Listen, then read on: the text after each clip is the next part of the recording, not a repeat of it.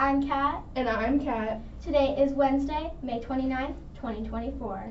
Also known as Put a Pillow on Your Fridge Day. Put a Pillow on Your Fridge Day has been celebrated since the early 1900s. Pillow, Put a Pillow on Your Fridge Day is celebrated every year on May 29th, which is today. Put a Pillow on Your Fridge Day is also celebrated in Europe. It's supposed to be good luck. So when you get home, put a pillow on your fridge. And now, for some announcements. And now please rise to the pledge. I pledge allegiance to the flag of the United States of America and to the republic for which it stands, one nation, under God, indivisible, with liberty and justice for all. And now for some announcements. Eighth graders, there's paper hanging on the chalkboard in the cafeteria for semi-songs. Mr. Kogan. This is the last week for the pet food drive in support of the Monadnock Humane Society. Thank you for the many donations we have already gotten, but we still welcome any more this week. We will announce the, which grade contributed the most food to the drive on Friday. Last call for community service hours. Today's lunch is chicken corn dog and crispy potato puffs. Eighth graders were amazing on the field trip yesterday. We are proud of you, eighth grade team. Track people, Gwen, Ronan, and Mackenzie, you need to turn in your uniforms like Brennan did. Otherwise, you're not getting any pizza. And now for weather.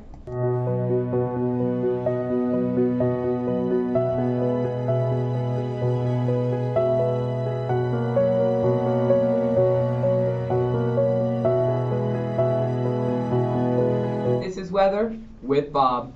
This weather is sponsored by Put a Pillow on Your Fridge Day. Did you know that a pillow is usually 60 to 65 degrees Fahrenheit? Or that on average, a fridge is 40 degrees Fahrenheit?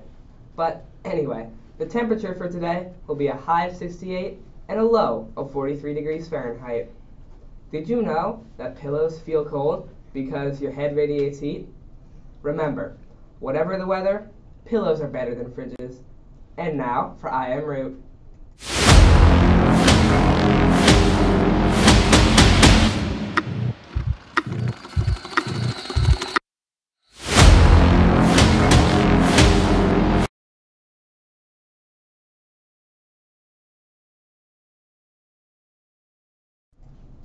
Good morning, Bobcats, and this is Kat with I Am Root. Today's root, as you probably guessed, is pillow. Pillow means, as you probably all know, a rectangular cloth bag with feathers, rubber, and other soft materials in it. Pillows came to existence in 7000 BCE in ancient Iraq. That's a long time ago. Did you know that the first pillows were hard? What did they have? Rocks in them or something? Or that they only became popular household items during the Industrial Revolution of 1765? Which is over 8,750 years later than they were invented. And even though a lot of cultures use pillows to put their head on, some Japanese sit on them instead of how Western cultures typically rest their head on them. Just thinking about a pillow makes me want to rest my head and fall asleep.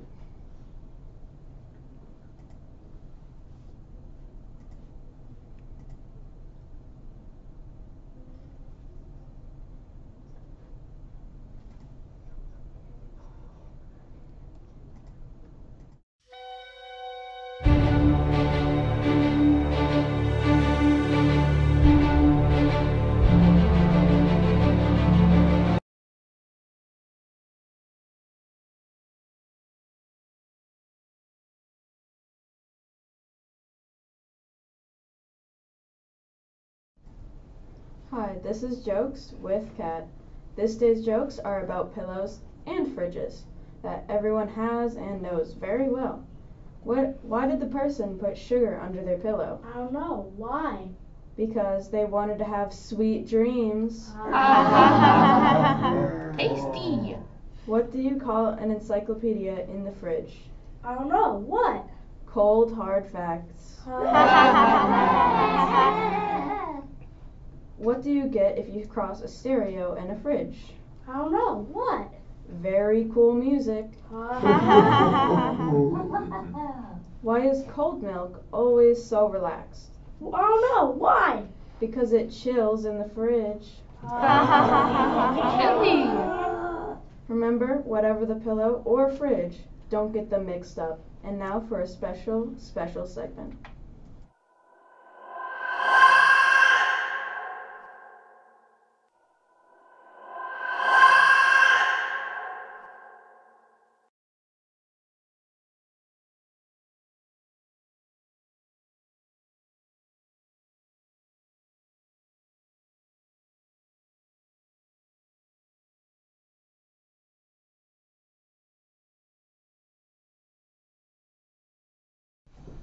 Welcome back to football and football with Bob. And Bob.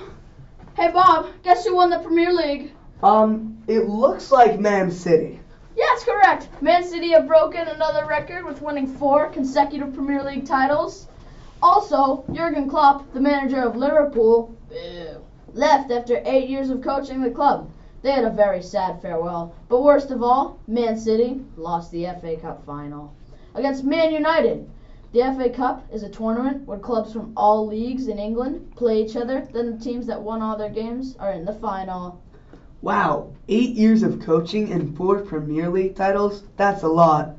Sorry, Man City lost the FA Cup. I know. What has been happening in the NFL lately? Well, Bob, OTAs, or Organized Team Activities, have started. Basically, these are optional camps where players practice with their team. Although these are optional, most players show up, and it's usually a bad sign when a player no shows. These camps help teams get a look at their off-season acquisitions, such as rookies and free agent signings. Wowie kazowie, Bob. That's pretty cool. Well, that's all for football. And football. And now for Principal Pick Me Up.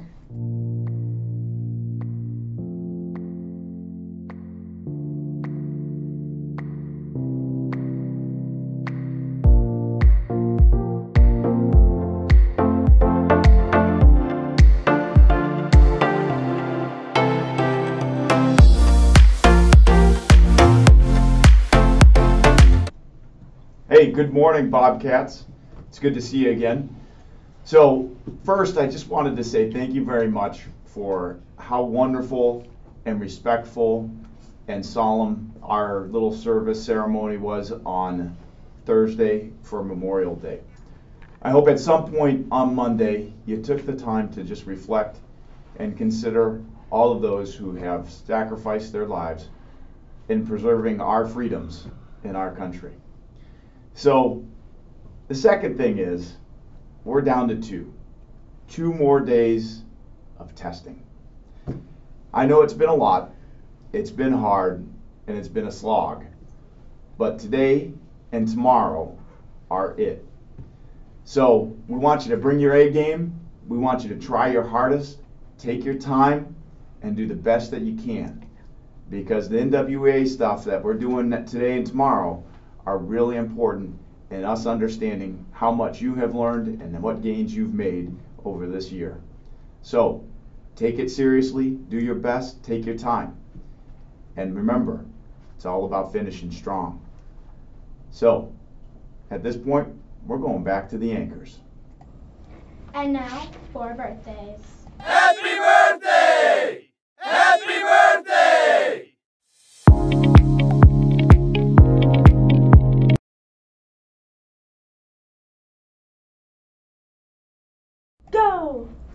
Happy birthday today to Miss Ketchum. We're glad you were born. And good luck on testing. Respect Responsibility. and safety. It's the Bobcat way. You put the great in Great Brook. So have a great day. Thanks for watching. Bye.